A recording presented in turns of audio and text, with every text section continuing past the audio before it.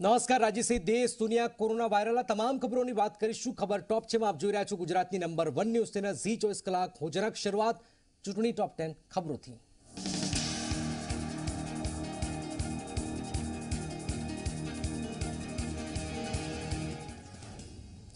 ભાવનગરમાં ચૂંટણી પ્રચાર દરમિયાન જીતુ વાઘાણીએ જાહેર મંચ પર ભાંગરો વાટ્યો હતો. જાહેરસભામાં તેમણે આરસી ફળદુને પ્રદેશ અધ્યક્ષ ગણાવી દીધા. ગુજરાત ભાજપના અધ્યક્ષ સી આર પાટીલની હાજરીમાં જીતુ વાઘાણીની જીપ લપસી હતી. આ સમયે મંચ પર મુખ્યમંત્રી વિજય રૂપાણી પણ હાજર હતા.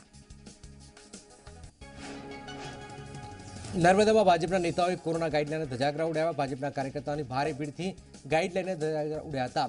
દેડિયાપાડામાં ભાજપના ઉમેદવારોએ ફોર્મ ભર્યા. ભાજપની રેલીમાં સોશિયલ ડિસ્ટન્સિંગના ધજાગરા ઉડ્યા હતા.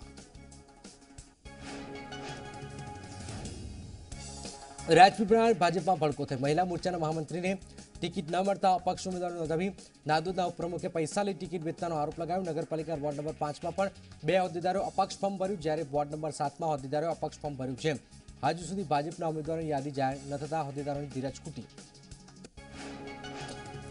પાટણમાં કોંગ્રેસના મહિલા પ્રદેશ મંત્રી અલકા દરજીએ રાજીનામું આપ્યું છે. અલકા દરજીની ટિકિટ કપાતા નારાજ થયા. કોંગ્રેસે ઘરે ઘરે જઈને પૈસાથી ટિકિટ વેચવાનો આરોપ લગાવ્યો છે. અલકા દરજીએ પાટણ કોંગ્રેસના ધારાસભ્ય અને જિલ્લા પ્રમુખ પર પ્રહાર કર્યા હતા. વડોદરાના ચાંદોદના અઢીસો કોંગ્રેસના કાર્યકરો ભાજપમાં જોડાયા છે. ધારાસભ્ય શૈલેષ મહેતાના હસ્તે ભાજપનો કેસ સારણ કર્યો. સૌથી વધુ લઘુમતી યુવાનો જોડાયા છે. બે હજાર પંદરમાં મહત્વપૂર્ણ ભૂમિકા ભજવનાર યુવાનો ભાજપમાં જોડાયા છે. વડોદરામાં કોંગ્રેસના નેતાઓ સામે શહેરના અલગ અલગ વિસ્તારમાં બેનર લાગ્યા છે, જેમાં લખાયું છે, હે રામ, સાતવ, ચાવડા અને ભારતની ભાજપ સિમેલ રો ગઈ ગાંધી તેરે દેખ કે ખેલ જેવા લખાણ લખાયા છે કોંગ્રેસની ટોચની નેતાગીરી સામે હોર્ડિંગ્સમાં સવાલ. મૂળ કચ્છના દિનેશ ત્રિવેદી ગુજરાતમાંથી લડી શકે છે રાજ્યસભાની ચૂંટણી. મમતા બેનર્જીને ઝટકો આપીને આપી રાજીનામું યુપીએ સરકારમાં રેલવે મંત્રી રહી ચૂક્યા છે દિનેશ ત્રિવેદી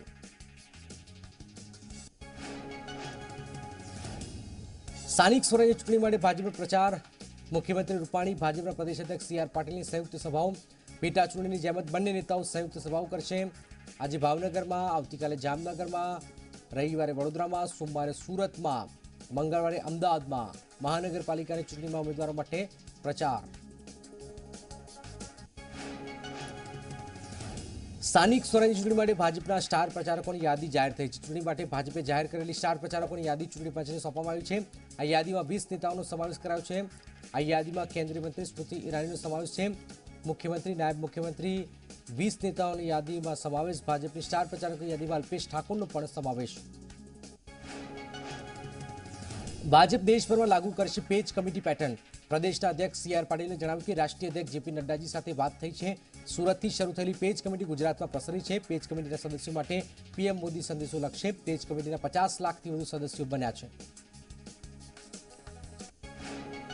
મુખ્યમંત્રી રૂપાણીએ ઝી ચોઈસ કલાક સાથે એક્સક્લુઝિવ વાતચીતમાં જીતનો વિશ્વાસ વ્યક્ત કર્યો છે. સ્થાનિક સ્વરાજ ચૂંટણીમાં મોટાભાગની તમામ બેઠકો જીતીશું. ગુજરાતમાં આ સુવર્ણયોગ છે. કોંગ્રેસ તૂટની નાવ છે. અને આ ચૂંટણીમાં સફાઈ થઈ જશે કોંગ્રેસની. સ્થાનિક સ્વરાજ્યની ચૂંટણી માટે પ્રચારનો પ્રારંભ થયો છે. ભાવનગર મહાનગરપાલિકાની ચૂંટણી માટે ભાજપના ઉમેદવાર પ્રચાર શરૂ કરે છે. ચૂંટણી પહેલા જ મુખ્યમંત્રી રૂપાણી પ્રદેશના અધ્યક્ષ સી આર પાટીલ પર ભાવનગરમાં પ્રચાર કર્યો છે. અમદાવાદમાં આવતીકાલે ચૂંટણી માટે ફોર્મ ભરવાનો છેલ્લો દિવસ. જિલ્લા, તાલુકા, નગરપાલિકાની ચૂંટણી માટે ફોર્મ ભરવાનો આવતીકાલે છેલ્લો દિવસ છે. જોકે ભાજપ અને કોંગ્રેસે હજુ સત્તાવાર ઉમેદવારો જાહેર નથી કર્યા.